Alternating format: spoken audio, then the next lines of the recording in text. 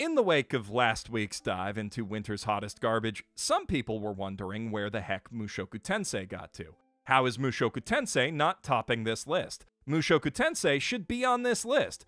I said what I said.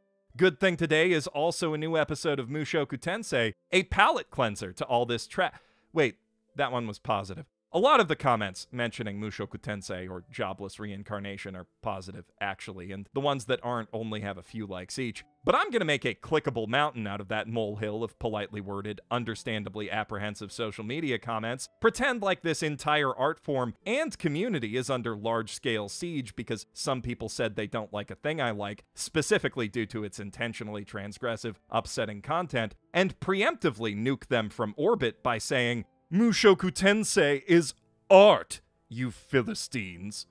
I wish I didn't have to spoil the mock outrage gag right away by saying this, but angry tweet reading YouTube being what it is these days, please don't actually get mad at or attack people for publicly not liking Mushoku Tensei or any other anime for that matter. It's a perfectly reasonable position for a person to hold. This is a heckin' weird anime whose source material is the progenitor of a lot of heckin' weird anime cliches that mostly appear in trash and are broadly seen as indicators of trash. And, regardless of his future growth, its protagonist is only very technically not a pedophile anymore for now. People judge books by their covers. That's why books have covers. It's not worth getting mad about. That said, Mushoku Tensei is not trash, and I hope anybody watching who thinks it is will at least hear me out on that point with an open mind. I'm not saying you have to like it, or even not hate it. It definitely contains plenty of hateable content. Anyone going into the series should know that it deals with sexual assault, pedophilia, slavery, and a lot of other dark shit, and not always in tasteful ways, but always in an honest, unflinching way, and never without considered artistic purpose. Not unlike how Made in Abyss approaches its unsettling, lurid elements. And that's at least worthy of respectful consideration. The same goes for the trashy tropes that Jobless Reincarnation helped to cement. But before we get into that, this video is sponsored by Raycon, who are disrupting the electronics industry by designing premium wireless audio for half the price with zero compromises. High fidelity sound, hefty bass, discreet aesthetic designs and a range of fun colors and patterns, and a customizable noise isolating fit so comfy you'll forget you're even wearing them. I know I do. I bought my own pair of Performance E55s back in September, long before they reached out to me, and I've been using them daily ever since. They make it a joy to listen to my favorite gaming soundtracks while cleaning the house, walking to the store, or writing these very videos, and with that comfy, discreet fit and six hours of playtime, Raycons are perfect for falling asleep to ebooks, multi-hour video essays, and or dubbed anime. Thanks to Raycons, being alone with my thoughts is a thing of the past. Plus, their 36 hour battery life and seamless Bluetooth pairing mean they always just work when I need them to. They're hands down the best earbuds I've ever owned and considerably cheaper than anything else that offers comparable quality or comfort. There's a reason so many music pros like Spyro the Dragon's Uncle Snoop Dogg are obsessed with their Raycons, but you don't have to take my or their word for it because Raycon offers a 45 day free return policy to let you see for yourself which of their great products is the right fit for you. Click the link in the doobly-doo or go to buyraycon.com slash mothersbasement to get 15% off your Raycon purchase and help support my channel in the process. One more time, that's buyraycon.com slash mothersbasement. By this point, I can't even count how many anime I've seen about nerds dying used up and lonely and then getting to relive their childhoods in fantasy worlds reminiscent of popular video games, eventually saving those worlds with fabulous secret powers and picking up one or more beautiful fantasy brides in the bargain. And for obvious reason, there is a huge market hungry for that flavor of escapist wish fulfillment. But back in 2012, when Mushoku Tensei first hit web novel hub Shosetsuka ni Narou alongside Konosuba, ReZero, Overlord, and Isekai Izakaya, the size and voracity of that market was largely unknown. While Just about every light novel and anime that's followed in their footsteps has simply stuck to formula in cynical pursuit of easy clout and cash, hence why they're all trash. Those early authors were simply taking ideas set forth in the then newly popular SAO and running with them in whatever direction their imagination wanted to go. Mushoku Tensei is written the way it is and contains the characters, tropes, and scenarios that it does solely because its author, Rifujin na Magonote, thought those things would make for an interesting story. The series doesn't just let an otaku NEET play hero and feel up waifus as a cosmic consolation prize for his sad life, it explores in great depth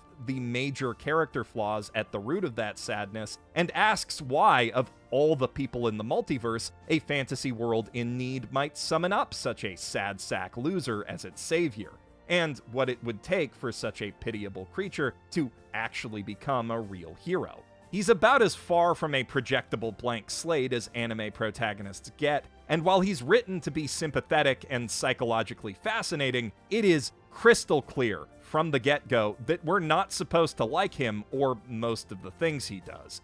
The man who would be Rudeus Greyrat was an unambiguous piece of shit. The sort of person who, after three decades spent making nothing of himself and mooching off his parents, had the nerve to skip their funeral and hole up in their house with what is heavily implied to be Nobuhiro Watsuki's kind of movie.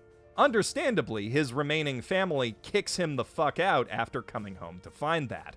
And right then, when he's being forced into a reckoning with the emptiness of his own existence, he spies a truck barreling through an intersection toward a group of teens, and without hesitation, he trades his life long wasted for theirs still to come.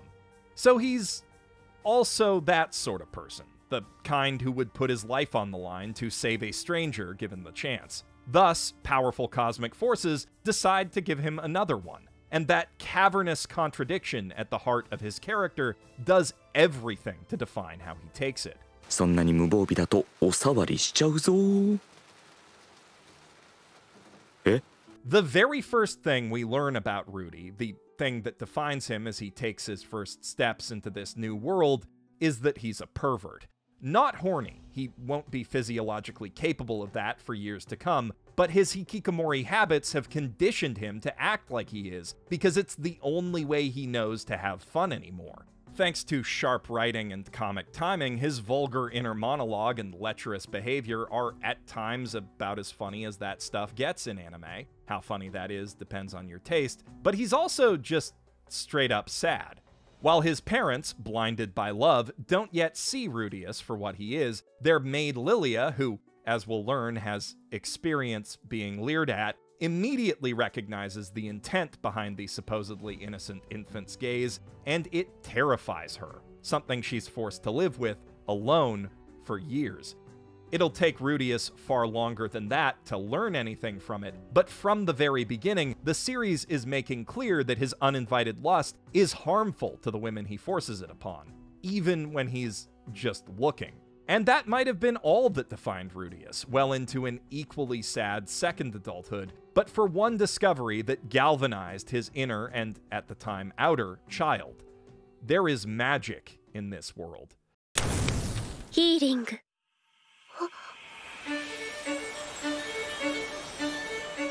Mushoku Tensei's setting is animated with rich historical and natural texture, the likes of which I haven't felt since Spice and Wolf, and its execution of that style is even more exemplary. Beautifully painted backgrounds and lively, delicately inked animations create the impression of a storybook come alive. Consistent, moody lighting gives every scene depth, and a subtle film grain filter ties all those elements together in the composite, helping to disguise background CGI and giving the final image a printed on paper quality that many anime have tried and failed to achieve with actual paper filters. There's a lot that other anime productions can learn from this one on a purely technical level, but what's even more important is how all of these elements come together to immerse you in its world, all so that the even more beautiful magic effects can blow you away as much as they do Rudy. From the moment Zenith first lays her healing hands on him, a second obsession is born in the boy, and until Roxy arrives to tutor him, the joy he takes in exploring and discovering that is kept entirely separate from his first one. When he's up in the attic playing with water balls, Rudeus is just a kid, messing around and learning with the single minded determination of youth. Even after he meets Roxy, while he does ogle her during lore lectures, he learns quickly that there are dangers to distracted casting and generally tones down his antics when the wands are out. When she's taught him his final lesson and he moves on to teaching Sylphie and later Eris, despite being an absolute creep outside the classroom, he still takes their lessons seriously inside it and avoids doing anything that might disrupt their learning. Magic practically becomes a platonic island in the sea of sex and perversion that is this medieval world, and working hard at it, seeing the women in his life do the same, is the main catalyst that spurs Rudy's growth as a character and his growing respect for them, not as characters, but people.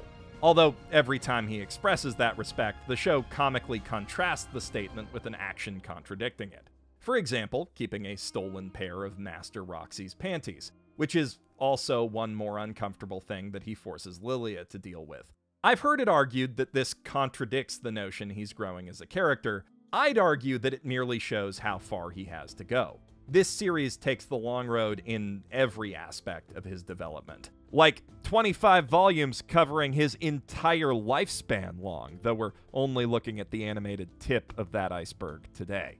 Magic doesn't just come isekai easy to Rudeus. He does become an astronomically powerful wizard and master of multiple languages over the course of his hero's journey, but not because those abilities are just arbitrarily handed to him by God. Having an adult mind piloting his child body simply allows him to direct its innately accelerated learning ability and train his still growing form to do magic in ways that people who start later in life simply cannot. But even then, it's not an exclusive special skill. Sylphie, who starts practicing almost as early as Rudeus, quickly picks up the same trick of wordless casting. He has an undeniable advantage over most people starting life in this world, but one directly rooted in the specific mechanics that brought him here and the odd nature of his existence, not just divine coincidence. And he still has to apply himself with intense dedication to achieve what he does fueled by some innate interest in the subject matter, nerds do love lore and magic, but mostly by a lifetime of deep seated, agonizing regret, which also believably hampers his growth. It takes years and a lot of encouragement from his kind, understanding teacher just to work up the courage to leave his house. He draws on that regret in episode 7 when he has to talk Eris into not giving up on the aspects of her noble womanly studies, specifically dancing, that she's just not good at and doesn't like doing. He's lived that way and knows exactly where it leads, and in his new life has come to appreciate the rewards of hard work, especially at something you're not good at. That scene resonated with me on a deep level, and the subsequent scenes where he helps her nail her birthday dance and then awards both her and her bodyguard slash sword instructor Ghislaine with wands, just like the one Roxy gave him, absolutely warmed my heart. Immediately afterward, he's given an opportunity to ruin all that again when he wakes up in Eris's bed, and for the first time, out of respect for her hard work and understanding of how much she treasures both his and Ghislaine's gifts, Rudeus doesn't take that opportunity. Clearly, he is growing, but while not assaulting girls in their sleep is sadly progress for him, it's not even the bare minimum. He still has to unlearn a lot of bad assumptions about women and sex that he's built up through a lifelong diet of anime porn games. That's not just my interpretation of his character, he explicitly calls himself out for it in the next episode, after what is by far his worst on screen transgression. Content warning for sexual assault. Gonna try to keep this as clean as I can, but use the chapters or timestamp to skip past it if you don't want to think about it at all. At the behest of her father, Philip, who wants Rudy to marry her and join in a good old fashioned family coup, Eris agrees to do some naughty stuff with Rudeus in his room, and he immediately charges headfirst out of her overtly defined comfort zone because he's scum. Then he gets his ass very justifiably beat for it. In the lead up, he doesn't even think of her by name, only getting excited for the chance to get with a tsundere. But in the aftermath, he reflects 何やってんだ完全に我を忘れていたエロゲーをたくさんやってヒロインの気持ちが分かった気にでもなっていたか This line draws a direct line from his hurtful objectification of Eris to his past life obsession with fake anime girls. And the lesson he's learning here is one that most anime dealing with sex, even good ones like Horimiya, either gloss over or ignore that consent is fluid and conditional, not a binary state you can just fade to black from. Yes to one thing doesn't mean yes to everything. Respecting that is actually the bare minimum. He got there, though I don't know if I can defend what it took to get there. This scene made me the most uncomfortable out of any in the show, which is saying a lot. I won't show them here, but some of the shots in it are very explicit. Unlike other anime that integrate fan service into scenes exploring sensitive subject matter, I don't think Mushoku Tensei mixes its message here. Rudeus is thinking of Eris like H game CGI, and the subjective camera work definitely reflects that. And the ecchi elements are immediately shut down the second he crosses the line. Note that when she spin kicks his stupid asshole face in, there's not a single frame where you can see up her skirt. This being anime, that had to be intentional. Still, I can't blame anyone who just nopes the fuck out of the whole thing the second it starts before seeing where they're going with it.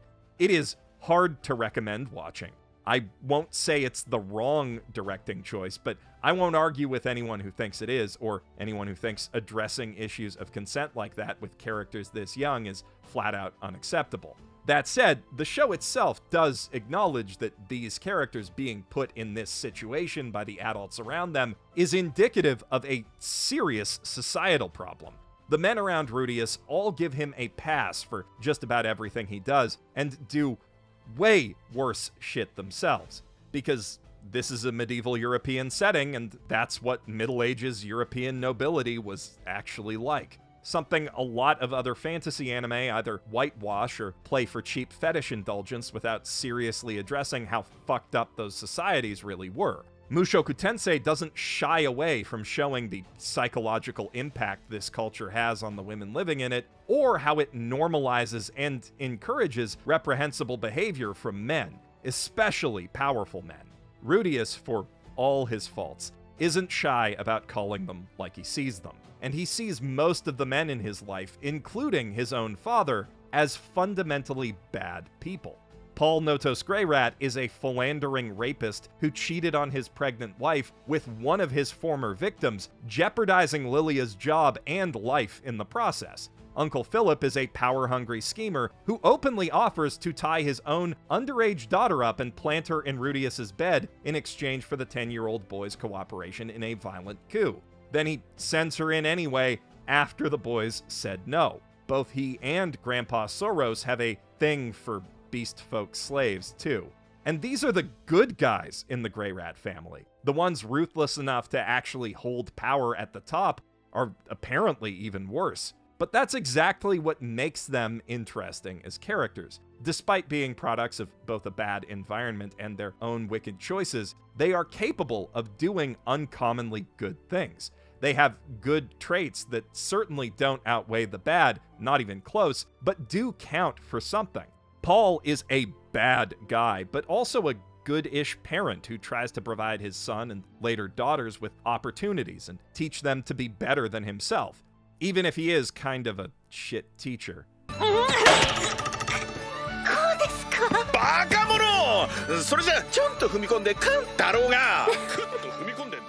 I haven't met many dads like Kenichi Natsuki. I've seen a lot like Paul Greyrat. Most of us have folks like that in our lives who are good to us, but not to most people, and not always, but they try, or try to try. I haven't seen much fiction that captures that as well as Mushoku Tensei does. The women in the series tend to tip in the opposite direction from the men, which makes sense given that most of them don't have any power to abuse and are in fact the ones being abused. Zenith is both a great mom and a great person, kind and understanding even to people who really don't deserve it, like Paul. She sure can be smug, though. Lilia is quiet, sharp witted, observant, the type to keep things bottled up and let it spill out at inopportune times. Roxy is outspoken to a fault, quick to judgment, yet slow to think through the potential consequences of her actions, like firing a water bullet through Zenith's tree. She's also, as Rudeus discovers late one night, a bit of a voyeuristic creep herself, which perhaps explains why she's so patient with him. She's also a very good teacher, adept at giving gentle pushes, though she pushes herself hard to learn new things, especially after witnessing Rudy's magical prowess. I really like how they help encourage each other to learn the demon god language by becoming pen pals. It's a slick writing touch that helps to develop both their abilities and their romance. If we're talking about Rudy's study buddies, though, then Eris and Ghislaine are easily my favorite characters in the whole show. The Beast Woman bodyguard was once the very embodiment of this sign can't stop me, I can't read. But having struggled and been bamboozled due to her illiteracy and lack of math skills, she now values learning more than most. She's still a fighter, first and foremost, though, more dedicated to the sword than literally almost anyone else on the planet, and capable of combat feats that are out and out terrifying, even in comparison to most of the magic we've seen. Her immense strength translates to an easygoing attitude, and she gets along well with both Rudy and Eris, despite both being pretty temperamental. She's got some of the funniest lines and moments in the whole show, but also provides solid emotional support when needed. She's just a great character all around. Basically, The Rock if he was a cat girl. Eris isn't nearly as capable when we first meet her, though she sure acts like she's the greatest thing to ever grace this earth. A lot of that owes to her grandfather, who both spoils her rotten and sets a rotten example with his violent, indiscriminate temper. It takes a lot for her to warm up to Rudeus, and even more for her to let go of her stubborn pride and be taught magic and swordsmanship. But once she accepts it, she learns quickly and grows into what I can only describe as a consummate anime badass. Her sword fighting animations are so good, and I love how they work that into her learning to dance. She and Rudy also have truly great chemistry, pushing each other to learn and improve, especially in the art of the blade. They're almost like shonen rivals, which, as we all know, is the most romantic kind of relationship there is, and the way they develop feelings for each other over the years is surprisingly sweet and natural, despite her father's interference. Eris's mom is also phenomenal. They play her up like this typical evil queen, framing it like she despises Rudeus for petty branch family bullshit or whatever. But then we find out that it's because she's been deeply personally wounded by the Greyrat clan, who took her own sons away from her because of bullshit succession rules. So, of course, she resents this stranger who gets to live with her when her own boys can't. Like, how unfair is that? But then, he cries when the family throws him a birthday party. Instantly, she realizes how lonely he must feel so far from home, just like her sons must feel and she vows to love him like a son. No, marry him off to her daughter. Then she gets carted out of the building by the guards, and it is a top 10 anime gag, but a gag with real, meaningful heart and soul behind it, containing an entire character arc. That is actually genius writing. And it points to what is, I think, the most powerful thing about Mushoku Tensei. At its heart, this is a story about family, finding family, protecting family, failing your family, and forgiving your family. Sometimes even when you probably shouldn't. Family that's not perfect, that hurts you sometimes, but still provides essential comfort and warmth in a cold, harsh world. Family as it too often is, not how we wish it could be. This is a show that looks straight at the ugly side of humanity and finds complicated beauty in and around it. It's also got an incredible butt joke that I can't stop thinking about, centered around a butt that's also incredible, and that I also can't stop thinking about in a totally non horny way. You open Ghislaine's pants expecting fan service, but what you find is goals. I've spent most of this video delving into this show's serious, emotional side, but it is a comedy as much as a drama, and equally vulgar in both respects. And I think I'm in agreement with So I'm a Spider, So What's mangaka Asahiro Kakashi in their recent Twitter praise of how it affirms vulgarity. Link to that in the doobly doo, it's a good read. In the real world, right now, kids hear their parents wrestling down the hall all the time. In the place and time this fantasy setting is based on, you absolutely could have just walked in on a big, important lord type guy abusing a maid. Real children were offered up as political bargaining chips to disgusting men as old as Rudeus actually is. We all know this. Game of Thrones was very popular. And Mushoku Tensei is similar in how it portrays sex as both an intrinsic part of its world and of its narrative as a game played by the powerful, often with dubiously consenting pieces, for pleasure and profit. Of course, that exact argument is often used to make excuses for things that obviously are not gunning for any kind of realism and just want to indulge in vaguely historical debauchery. And I won't tell you it's easy to tell the difference at first or even tenth glance. There's a line between this is the way it is because that's just how the world is, and the world is how it is because the author wanted to get away with stuff. It's hard to pin down exactly where that line lies, if it's determined by how much historical research and imaginative detail went into the world building, or how much of the plot isn't obvious indulgence, how it presents the parts that clearly are, maybe the skin to fabric ratio of the costume designs factors into it. Regardless, when I watch it, I feel very strongly that Mushoku Tensei is on one side of that line and most isekai that do similar things are on the other it definitely toes the line, and I have no doubt that some of the author's personal preferences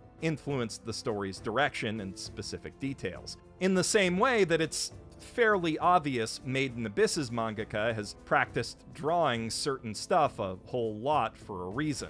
But neither lets that reason overtake the authenticity of their world or the fundamental truth at the heart of their story. I know I'm usually a very specific sort of video essayist, and this is getting a wee bit vague and feely, but we're talking about the border between art and content here. That's the vaguest, feeliest territory there is. Art is something you just know when you see, and when I look at Mushoku Tensei, I feel a lot of things. Not all of them pleasant, some of them deeply uncomfortable. And I know it's got something a lot of other anime don't. Something that goes beyond technical achievements in animation or significance in genre definition. I definitely cannot recommend that everybody watch it, but I've definitely found my own viewing experience to be profoundly worthwhile. Looking at the response online, I think most people who've given it a chance will agree with that, but I know either way you'll let me know in the comments. If you'd like to see a work of art that I can universally recommend, check out my recent video on why we love Horimiya. I'm Geoff Thew, professional shitbag, signing out from my mother's basement.